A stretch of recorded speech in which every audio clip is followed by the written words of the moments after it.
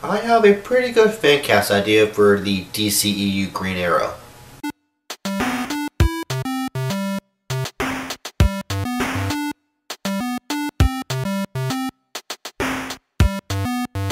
The DCEU is now underway and there are a lot of heroes people want to be in the universe. And one of them is the Green Arrow. And I can't see that with the popularity of Arrow and Green Arrow as a whole right now. And that got me thinking, who can play the Green Arrow?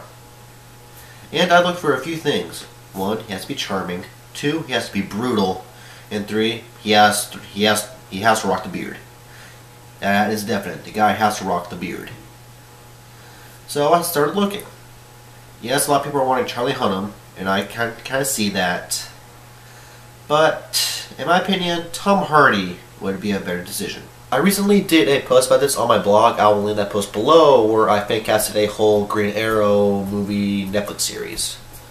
And I hate to pat, pat, pat on the back, but I made some pretty good casting choices. But I, I'll leave the guys up to you.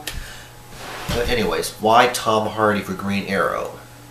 I know a lot of people want him as Wolverine. I want him as Wolverine, but honestly, I just think he would, would work better in the DCEU. Plus, I can just see Tom Hardy as Green Arrow, and it is awesome. Watch Tom Hardy in Mad Max and Inception, and you will kind of see why I think he should be Green Arrow.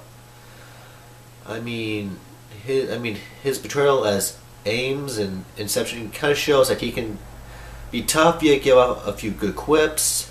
And him as Mad Max and, and Mad Max.